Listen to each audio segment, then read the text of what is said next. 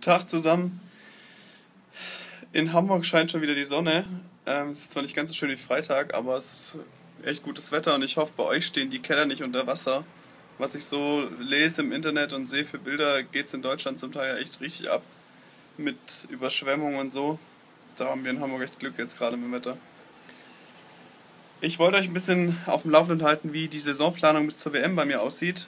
Und zwar werde ich nächstes Wochenende in Monaco am Start sein. Da wird die Nationalmannschaft wieder gemeinsam die Mare Nostrum beschreiten und ich werde ähm, den ersten Termin, also den ersten Wettkampf, die, den Wettkampf in Monaco mitmachen, wo es zum Beispiel eine Besonderheit gibt. Ähm, ich werde wahrscheinlich hoffentlich 5x50 Schmett schwimmen. Das ist so ein Ausscheidungsschwimmen, wo am Ende eben nur noch zwei Leute gegeneinander schwimmen. Und ich war letztes Jahr, oder als ich das letzte Mal da war, bin ich Zweiter geworden im Finale und ich hoffe natürlich, dass ich dieses Jahr wieder ins Finale komme und dann am, am besten natürlich gewinnen kann. Dann geht es weiter nach Barcelona direkt von Monaco. Ähm, und das sind die zwei Stationen, die ich von der Mare Nostrum Tour mitmache. Dann werde ich im Juli nochmal in Mailand auf einem Wettkampf sein. Und das sind die drei Wettkämpfe, die ich vor, der, vor, der, vor den Weltmeisterschaften ähm, auch in Barcelona dann noch, noch schwimme.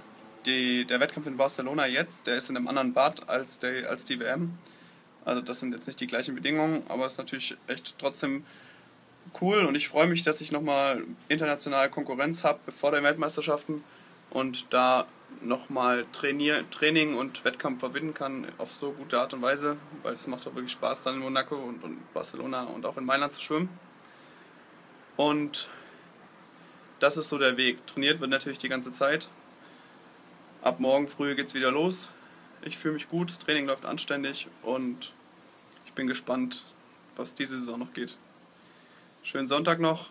Ich gucke mir wahrscheinlich noch Beachvolleyball live hier in Hamburg an vom Dan Smart Cup. Und dann wünsche ich euch auch noch einen schönen Tag. Ciao.